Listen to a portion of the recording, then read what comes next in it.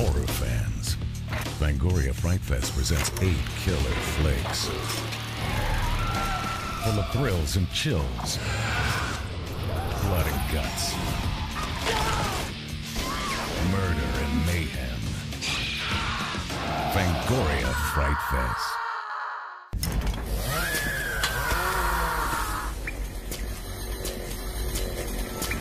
It's an interesting time in the world. These are real interesting times for us. It's been fun to watch it happen ever since uh, September 11th. Uh, The world has really changed. It's an enormously dangerous place now. He has been described as the master of terror, able to weave violence, thrills, and sexual tensions with great skill and brilliance. Considered a triple threat with his ability to write, direct, and score his own films. This is John Carpenter. In his words, told to Fangoria's Tony Timpone. This is his screamography. I was four or five years old when I saw It Came From Outer Space. And it was in 3D. It was its first release. And uh, that I was basically so young then, I was not quite sure what was going on. But we had these these these cheesy glasses that you wore, and the opening of that movie has this spaceship or meteor coming down, and it, there's a shot where it comes right into the camera and blows up. Well, it scared the it scared the shit out of me, man. I was terrified. So I jumped up and actually literally ran from the seat. But when I got to the back of the theater, I, I realized, wow, that's pretty cool. What's this all about? So I went back and sat down. I was pre uh, understanding what I was seeing on the screen. It was unclear. What, what was this? What was this? Was this? I didn't understand the projection idea. I didn't understand this was made. It was just viscerally hit me. Probably did more damage to me than anything else. But that got me really excited about movies. From that moment, Carpenter was hooked. I started making movies when I was eight. My father gave me an eight millimeter movie camera. I started uh, shooting my friends in various films, animating uh, clay monsters, and uh, basically what every film geek did back in the in the, when I grew up. I was in the 50s. I think maybe after I saw Forbidden Planet in 1956, I decided, you know, I have to do this because I invested so much of myself in the movies. Uh, for a variety of reasons, I found escape in, in, in the movie theater, watching films from um, troubles uh, that, I, that I had as a kid. Carpenter's family landed in Bowling Green, Kentucky. Not exactly the place to become a serious filmmaker. I was going to the uh, university in my small town. My dad's a teacher. There wasn't anything there. There wasn't any future for me, and I decided, well, now's the time. I'm either going to try this or not. So I came to California in 68 and enrolled in USC. And that was the best experience I had. That was the, the ultimate experience in teaching me how to make films. I learned everything. I learned the technique, I learned the machinery. I had to do everything from operate a camera to project to do the sound and processing, animation, everything we learned. And then from there, I just went on. Carpenter began his career as many filmmakers do, with the low budget student film. I started doing a thesis film at, at SC, at Dark Star, and began working with Dan O'Bannon, who was a, a fellow student there and a friend.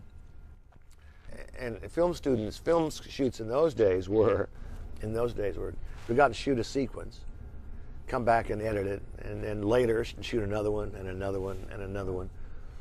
So the process took 45 minutes, took about a year. And then we went to try to make it into a feature. We got some money from a Canadian investor. It wasn't quite enough, but we went out and shot more footage, and came it came up to 90 minutes, 80 minutes, whatever it was. Went looking for a distributor, and lo and behold, we met Jack H. Harris. Jack Harris was famous for making The Blob, producing The Blob, and he produced other films. And he had a distribution company, mainly softcore porn. He released Landis's movie. Um, Schlock. Schlock.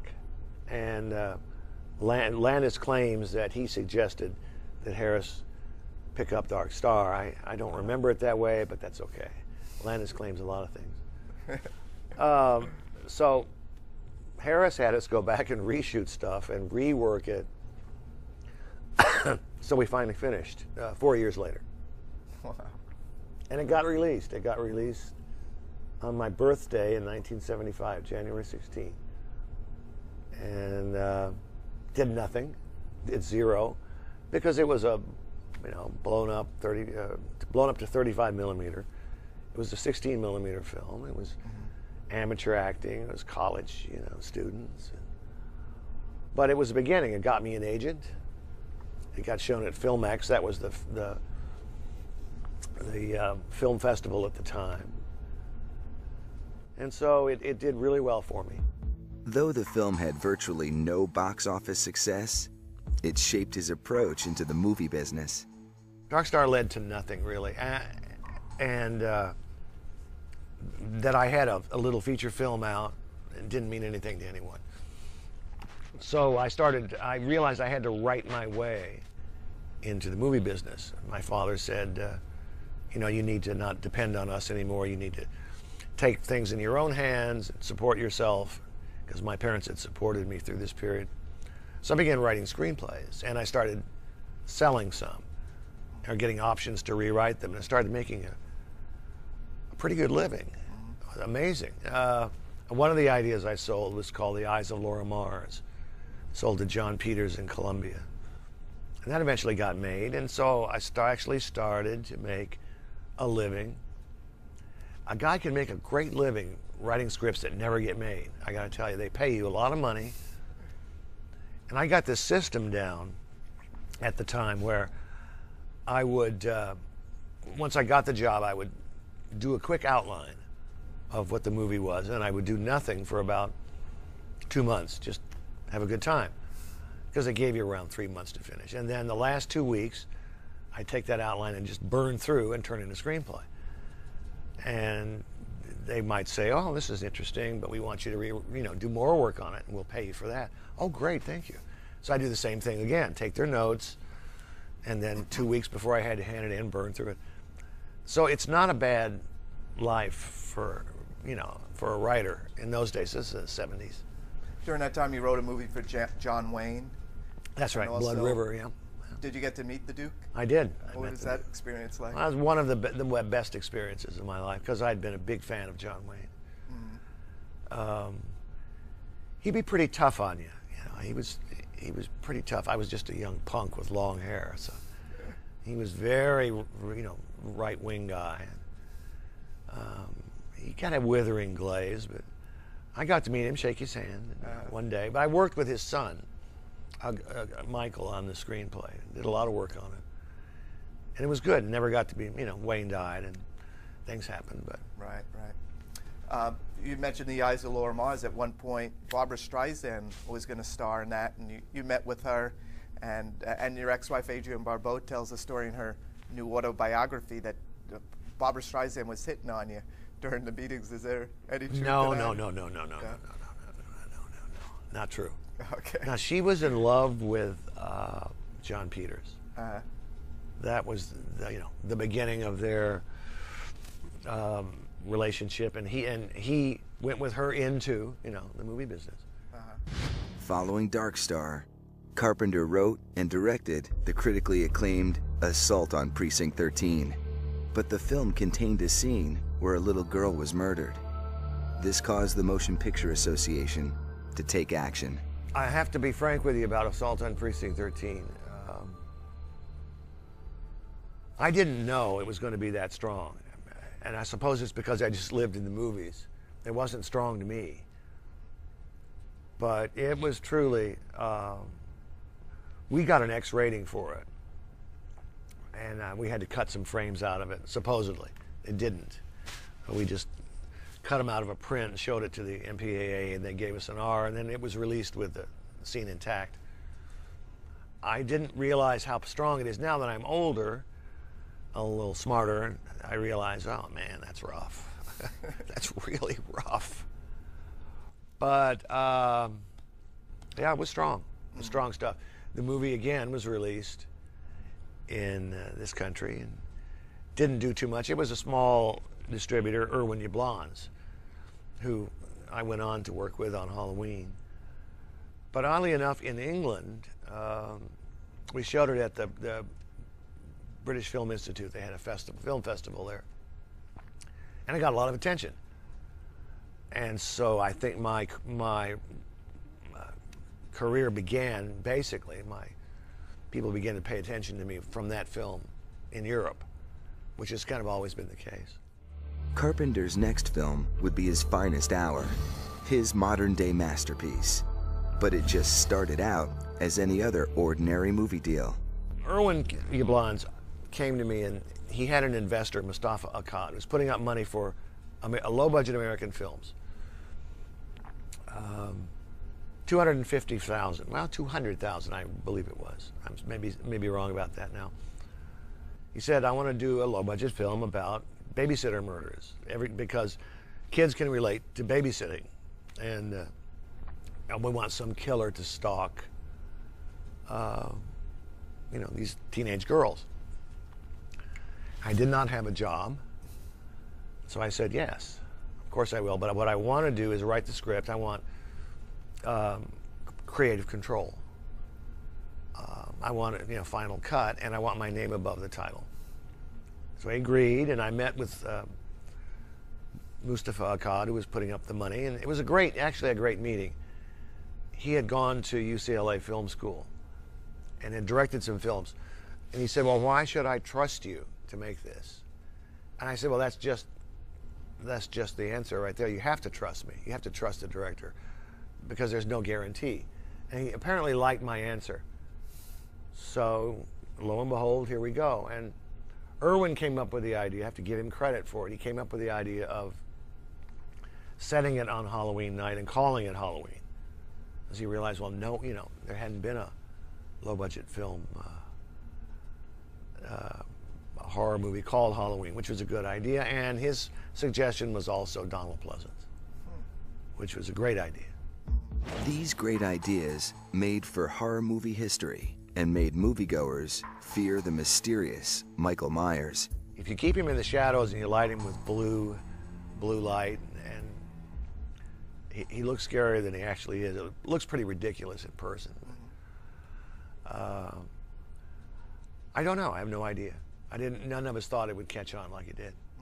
What I kind of kept to a minimum was any kind of real, specific violence.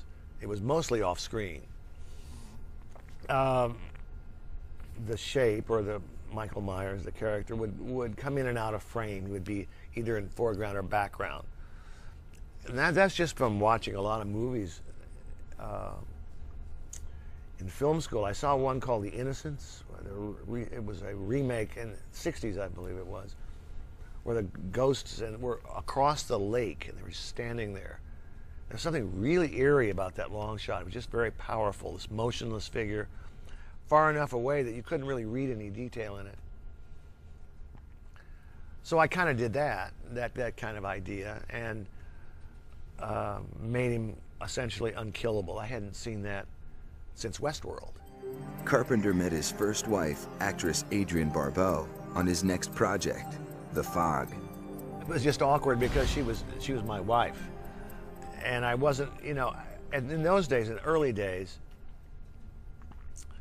uh, I wasn't sure about handling actors. They always, they always terrified me on set. I, I wasn't quite sure how to direct.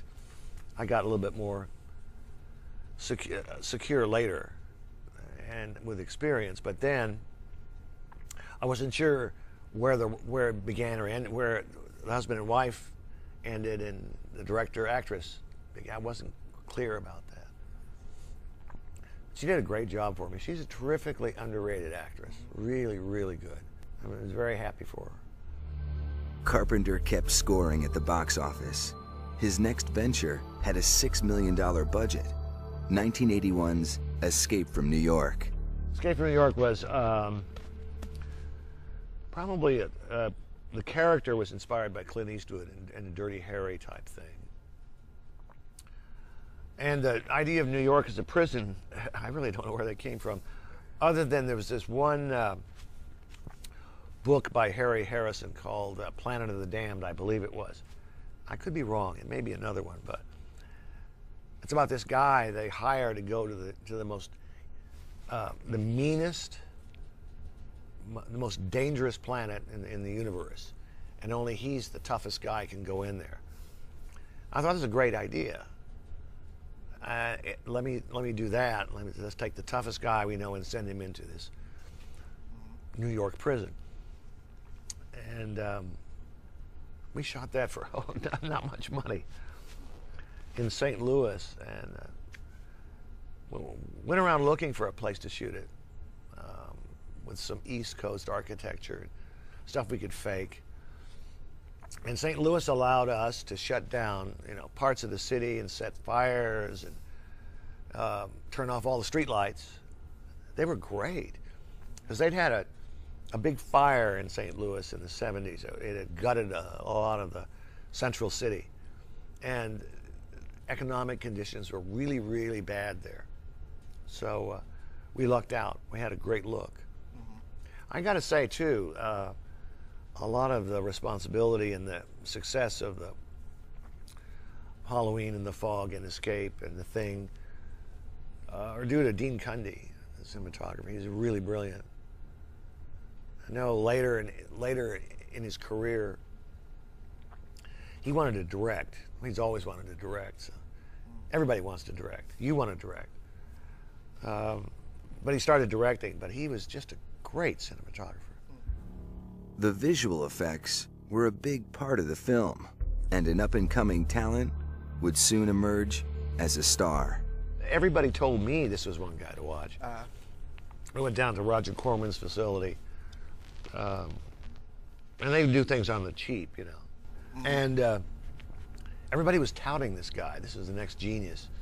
They were showing me footage that he had done really inexpensively. It was some matting process, whether it was front screen or what it was. I don't remember now, but I was watching it. And, it and he uh, was on the set one day painting. Uh, a glass minute, a glass painting for me for shooting a miniature. He used to shoot through glass, and he was painting the skyline of New York. Everybody said, "Oh, there's Jim Cameron down there." Oh, and so I went down, and he's a very nice guy, and he was uh, very, very talented. Escape from New York taught Carpenter a few things, like don't show your friends before the film is released. They were the ones that said, "You know, this this is pretty good, but it takes too long to get into the prison. It takes too long to get going." And I had this whole opening sequence.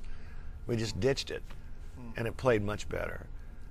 Halloween 2, um, well, oddly enough, in, even in Halloween, we'd finished the movie and it was out, and this was a couple of years later. Uh, Irwin and Moustapha had sold Halloween to NBC, but it was too short. And they said, "Well, you have to shoot some more footage." So I went back and shot this awful, awful stuff. Oh, yeah, it was awful. Donald Pleasence talking to some psychiatrists. A real dull and boring scene. The three girls got back together again with wigs. and actually, that wasn't a bad little scene, but I just, I just shot this bullshit to try to pad it out to, to 90 minutes or whatever it was, 88 minutes. I can't remember now. I did not improve it. I, you know, it was really terrible. Plus, the time I, two years later, I am so far away from the style that I'd brought to the original one. I had to, to try to remember what the hell was I doing back then. You know, I moved on to something else. Halloween 2, I looked at the his final cut and I realized, you know, this is not scary enough. And it may have been problems in the script. It may have been the way it was written. Um, so we we went out and shot some additional stuff. Again, it didn't necessarily make it any better. It just made it maybe a hair scarier, a touch scarier, scarier. Sorry. right.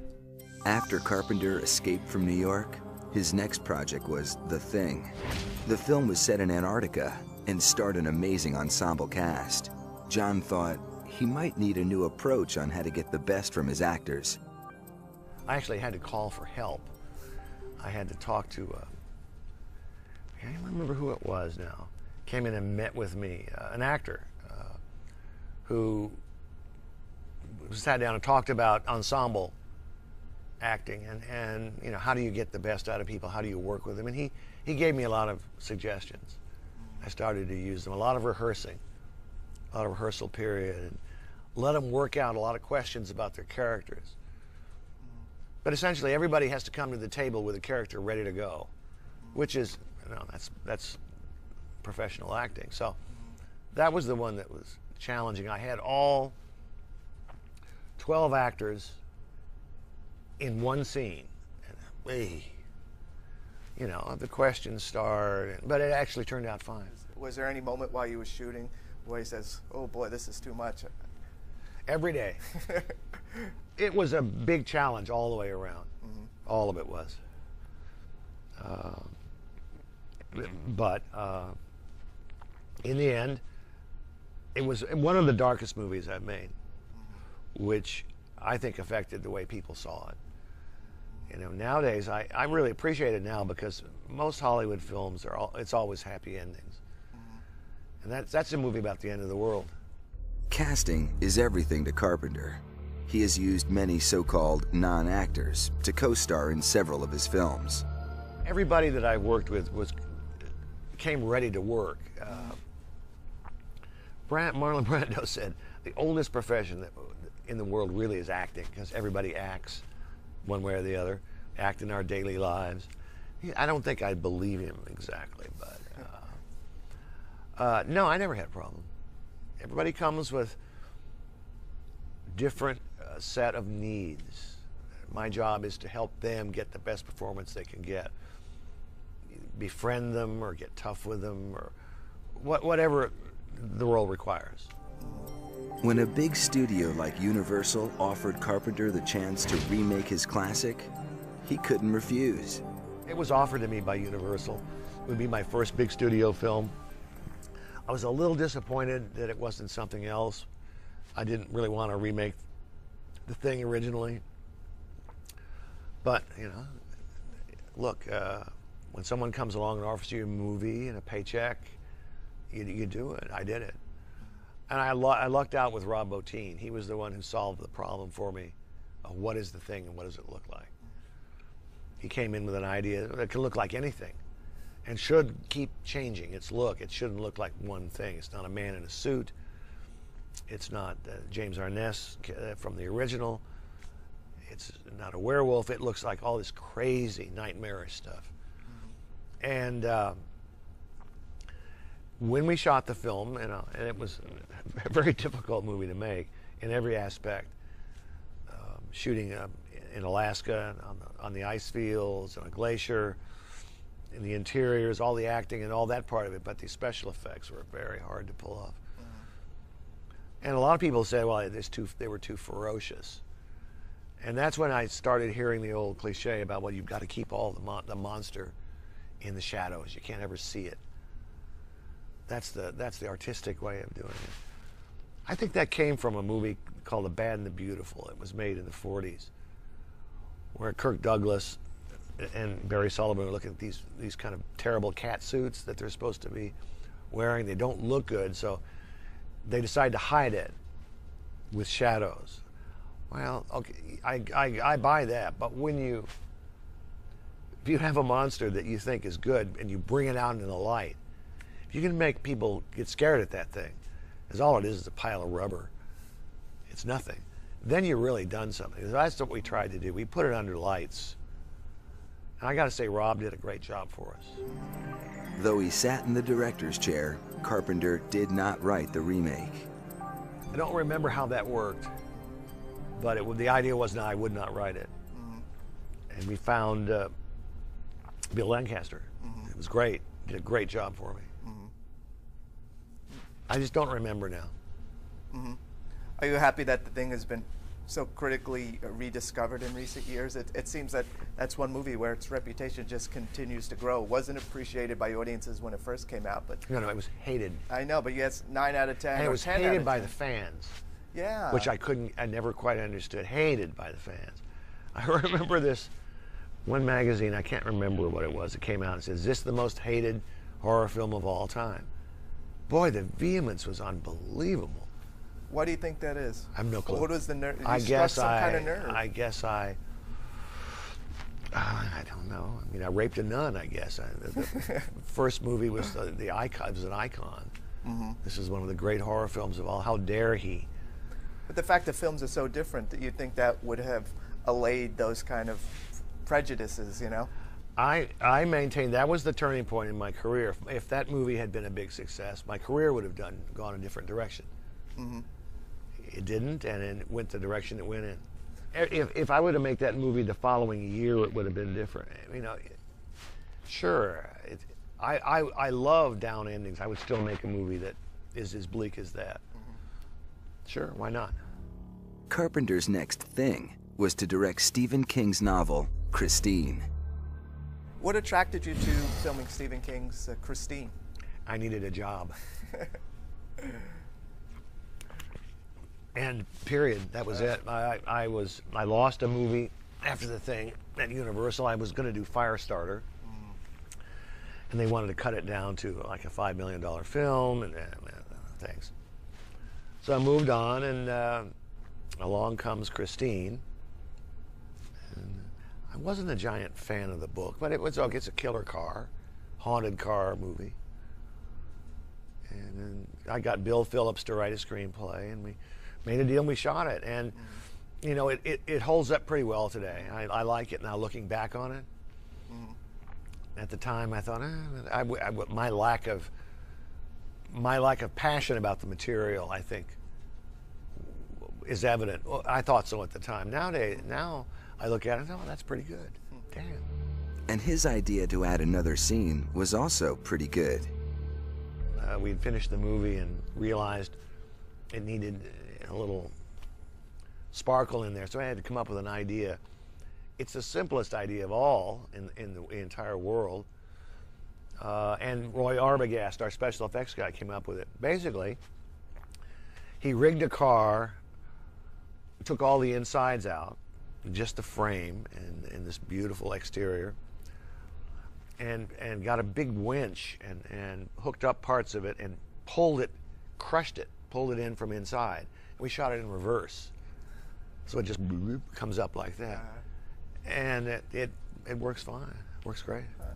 But King may not have been thrilled with the final cut. Stephen King was odd in those days. Those are back in the drug days. he loved our movie at first, loved it, and then began to turn on it. I, I, he, it was really odd. He was a strange character, but now he's uh, he rehabbed himself and he's he's a happy man. Right after Christine, Carpenter jumped at the chance to step out of the horror realm. The head of Columbia at the time was Guy McElwaine.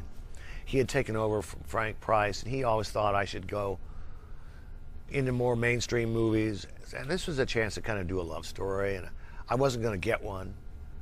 You know, my my rep was in horror, and so I got to do it, and I got to work with Jeff Bridges, and it was a great experience. And it was the flip side of the thing. It was. It was all nice, happy. No, it was good. It was a girl movie. Mm. what kind of direction did you give Jeff Bridges on the movie? Jeff is just a brilliant. He's he's a brilliant actor. First of all, you don't have to tell him too much. We, uh, Karen Allen and Jeff and Charlie Martin Smith and, and I, we rehearsed for a couple weeks before the movie. So we had a lot. Of, again, a lot of the problems ironed out. Uh, Jeff and Karen did a lot of improv about their characters, um, and uh, Jeff had a had a notebook, and it had this eagle on the front of it. And I asked him, "What is that?" He said, "That's my character. He's- He plays it like a bird. If you look at real closely about how he looks and the way he reacts to things, he's playing a bird." And uh, he's an enormously creative uh, actor. I really love Jed. Jeff is fabulous. How did you react when he when he got the Academy Award? I was nomination? delighted. Delighted. 1986's Big Trouble in Little China reunited Carpenter with another one of his favorite actors, Kurt Russell. There are certain actors that, that you really don't have to direct. That Kurt Kurt was uh, raised in the in the Disney system, where you knew all your lines, you showed up and you hit all your marks, you did everything technically perfect. See, in those days, the script supervisor would cut the take if you said one word wrong. So he would have every single word, and he would figure out ahead of time, in a lot of cases, what he was going to do with the character and how he was going to play it. Kurt, like Jeff, like Sam Neill, like a lot of guys that I've worked with, they're just consummate actors. They, they know how to play a scene. They know the heart of the scene. They know what they need to do to make it work, when to lay back. Working with Kurt is just a dream. So he, you know, we talked about it, and I said, you got to come up with some character in this. You know, how you going to play this? And so he chose to play uh, John Wayne, a dumb John Wayne. The movie kind of precipitated the whole Asian craze. In a lot of ways, it was ahead of its time. Do you think if it had come out today you or well, five years ago, it would probably been more successful? I have no idea. I- But it was a little bit ahead of, ahead of its time in the sense that we did a lot of flying around. There was a mid-air battle scene, and we did it without. Uh, we had to use trampolines. We didn't use the wires a whole lot. Everybody's on a wire now. Right. They're going to put you on a wire soon. Yeah. Though Carpenter's biggest film was the success of Halloween, he decided not to repeat his performance. But that didn't stop others from trying to cash in on the franchise. My lawyer said, look, you can't deny somebody the right to exploit a product. So rather than stop them, we never got to a suit. I joined them. Said, you guys go, bless you. God be with you. Just give me a check every time you make a film, and I will be happy. and I don't want anything to do with it. They use my music, and they made movie, and, and it's still, you know, rumbling along. In 1992, Carpenter directed Memoirs of an Invisible Man, starring Chevy Chase, an ambitious film for both director and star. I, I, I'll give everybody their due now. It was it was a tough project. Chevy wanted to move out of comedy. He wanted to do serious work. He wanted to be a leading man. Studio wanted him to stay in comedy, to do slapstick. Well, you have these two. I was in the, in the middle of these two forces. So I thought, well, he can we can do a comedy, but we can also make it more serious. Uh, it just didn't didn't work out for the audiences. Finishing up a commitment Carpenter had with Universal, he was set to direct the remake, The Village of the Damned. and they had a script that, that Wes Craven was actually developing. But we didn't have again much money, and I the, one thing about that movie I really like is I, I really like Christopher Reeve's performance. I thought he did a mm-hmm. great job. That was his last film before the accident, and uh, he did a good job for me. Mm. Real good job. It was again. It must have been daunting taking on a classic. the original movie is not a class. If you see that thing again, it's pretty silly. Mm-hmm. I mean, at the time, it was really kind of startling, but but the the the marriage between Barbara Shelley and George Sanders is really ridiculous. and she never seems to, to to be in labor. I mean, it's kind of an effortless thing, and she never seems to be raising the kid. I mean, it's just a bizarre film. Uh, it's well thought of. I, I kind of liked it when I was a kid in 1960, but Right. In 1998, Carpenter went back to what had been tried and true vampires. there were a lot of things about vampires. They, they, they had a slightly different vibe to them. They weren't gothic. You drag them out in the sunlight, and the, the sun would, you know, they would explode. There was all sorts of little touches that I could do. I hadn't done a vampire film. Got to work with James Woods, and I got to kind of shoot it as a western uh, in the in American Southwest. That was fun to do. Right. But James Woods might have been more difficult than killing a vampire. He's uh, he's a very challenging person. I, I got to be real close friends with him, and uh, he's great. He loves to ad lib, so you have to make a deal with him about that. You can let him go, but you have to get him to say the lines. And, but a lot of stuff he does is fabulous. You, you just got to let it go. Jimmy's great. Didn't he ad lib that whole business about where he's talking about the vampires, uh, how they're not like the Anne Rice vampires and all that That's stuff? right.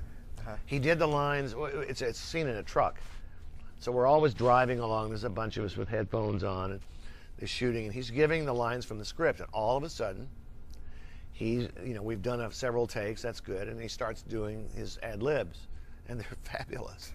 they're just fabulous. Boy. Some of his co-stars have, have said that he tortures them. Yeah, he can be rough on you. He can be rough on you. Mm-hmm. I'm not a- saying it wasn't a bumpy ride occasionally. Mm-hmm. But, uh, It's, it's all in the interest of making a better movie, though. Right. sometimes big personalities come along with stuff then and it's part of their creativity and that's you know that's good It's been five years since the last Carpenter feature film. His dark side has been won over by the small screen. i've enjoyed the tv projects I, you know the masters of horror is fun to do. It's short it's 10 day shoot. Uh, it's an interesting time in the world. These are real interesting times for us. It's been fun to watch it happen ever since uh, september 11th Uh, the world has really changed. It's an enormously dangerous place now. And uh, I, like I say, there are a couple of times in my career when I felt like I don't want to work anymore. And that after Ghost of Mars, I, I, I came to that point when I, I'm not going to work for a while. I lost my mom. My mom died during this particular time. All sorts of things came up. So it's been a good time to hang back. But hanging back for Carpenter has never been staying quiet about his political views. I honestly thank God I don't have to, to figure out how to make things better. I, I don't know how to do it. Things are so screwed up. But we'll see. Mm-hmm. I have a terrible, terrible feeling that we are America in decline. But uh, I'm a, I'm a long-term optimist. I have a mm-hmm. short-term pessimism that hovers around me. Things are not going to work out in the short term, but in the long term, I'm optimistic. I want, you know, I have an ultimate concern for mankind. I, I think we'll make it. Mm-hmm. Maybe. Maybe. Carpenter is constantly evolving, sharing his ideals, his creativity, to reach out to his audience with heart stopping tension. Visions of evil so dark, so terrifying, and so disturbing that it could only come from a true master of horror. The fabulous thing for all of us in horror, although probably we won't admit it, is that it's it's everybody is afraid of the exact same things. All of us in this room, everybody who's watching and listening, we're all afraid of the same things. We're born afraid. We're suddenly removed symbiotically with, we've been with our mother when we when we were uh, fetuses. We're removed and it's whacked on the ass, and we scream. And it's a whole brand new world. So the fear starts right then. Everything you can think of, your own death, death of a loved one, your own disfigurement, loss of identi- identity, it's the same in every culture. Human beings are all afraid of the same basic things. It's an ancient fear. And so that's the, that's the stream that we're paddling down as, as horror writers and directors. So it's finding the right context for that fear. And it's not, there are two forms in cinema that, that I think are the most challenging comedy and horror, because they're both timing related. So it's the timing on, on, on both of those. But you make a great horror film and you've really done something. There are a lot of talented guys working now, a whole new generation.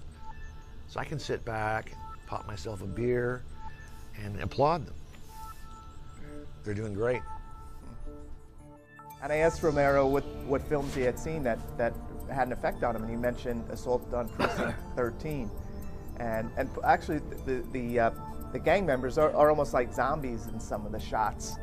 Were you inspired by Night of the Living Dead? They're like they're like You know, the way they're attacking? I know, I know. I know. And I know how the film had, uh, like I said, Romero himself was blown away by it. at That's the time. because he recognized his own work in there.